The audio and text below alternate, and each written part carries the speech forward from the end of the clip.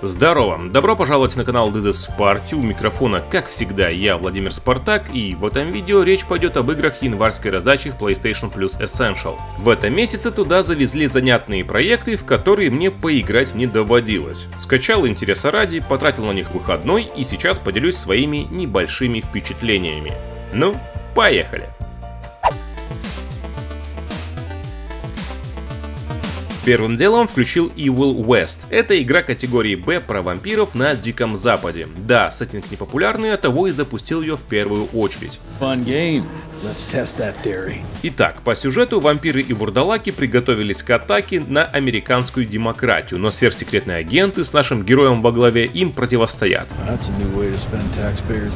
Наш альтер-эго бьет все, что движется, а что не движется, расшевеливает и дает пинка под зад. Игрушка прикольная, но многого от нее не ждите. Управление персонажа малость деревянное, боевая система простоватая и механика стрельбы точно такая же. Есть прокачка персонажа, у героя открываются разные умения и некоторые из них даже прикольные. Во время игры на экране происходит буйство красок, разные вспышки, взрывы, короче говоря, страшный сон эпилептика. Поиграл в эту игру полтора часа и утомился от ее однотипности. Может быть она раскрывается со временем и нужно в нее поиграть подольше, но если ты полтора часа бьешь рожи мобом, потом боссом и все это под унылую подачу, начинаешь задумываться, а правильно ли ты тратишь свое свободное время. Хотя по большому счету она неплохая, если после тяжелого рабочего дня хочешь повтыкать нечто незатейливое, то эта игра то, что нужно. Да и не всегда же играть в AAA проекты. There are.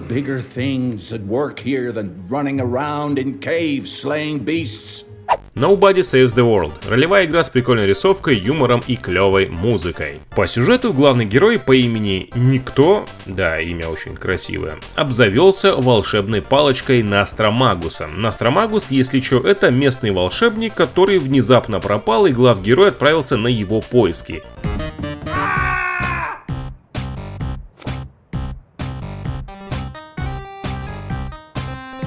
Это все, что нужно знать о сюжете. К нему я могу добавить, что по ходу дела нам попадутся разные забавные персонажи. С прикольными, а порой тупыми диалогами. Наш герой сам по себе ничего не может, но с помощью волшебной палочки способен перевоплощаться в разных существ. Например, в рыцаря, лучницу, мышку, слизня и так далее. У каждого класса свои способности, особенности, активные и пассивные навыки. К примеру, рыцарь любую толпу врагов может отлично покрошить как морковку на салат, но он большой и нерасторопный. А вот мышандра своими укусами отравляет врагам жизнь и может пролезть там, где остальным не позволят габариты. Чем дольше мы играем определенным классом, тем больше он прокачивается, что вполне логично. Подземелья здесь процедурно генерируются, и их можно проходить по-разному, пока не надоест, а нужно все это делать для опыта и денег. Игровой мир поделен на небольшие локации, где можно найти интересные места, секреты, да и полазить в нем просто интересно. А если одному играть наскучить, то в нее можно зависнуть вдвоем на одном экране. Изначально я думал, что пройду мимо этой игры, так как в подобное практически не играю, но игрушка выглядит приятно, музыка хорошая, и в совокупности все это дело затянуло меня на 3 часа, и я еле оторвался, что для меня нетипично, потому что в последнее время максимум я играю час-полтора, и мне этого за глаза хватает. Так что как-то так.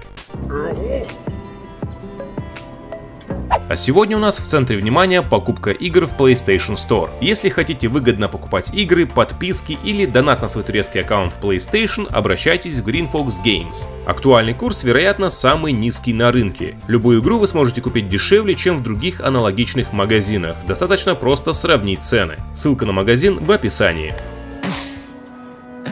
Ну ты даешь. Когда я поиграл в A Plague Tale Requiem, я понял, что зря пропустил эту дилогию, хотя мне многие ее советовали и говорили, что это игра по типу первого The Last of Us, но в лучшем его проявлении. А первую часть Ластухи я очень люблю. В общем, в этой игре я провел 4 часа, и за это время проект заинтересовал своим сюжетом, постановкой и персонажами. Игра начинается на спокойных щах, глав герой играют в прятки, гуляют, радуются, игрок в это время проходит обучение, нам показывают красивые пейзажи, но в один миг начинаются мясо, матюки, убийства и голые сиськи. Нет, тему сисек тут не раскрывали, но пока что.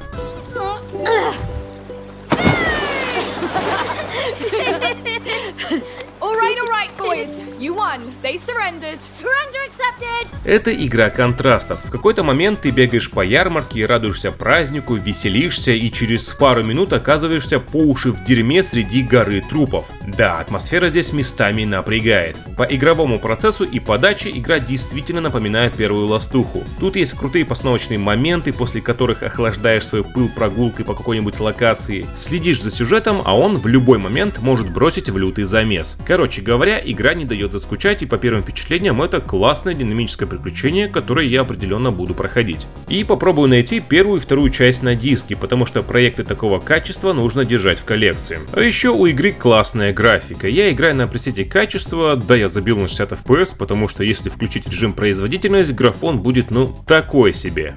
М да, видимо я зажрался. Это вам не это.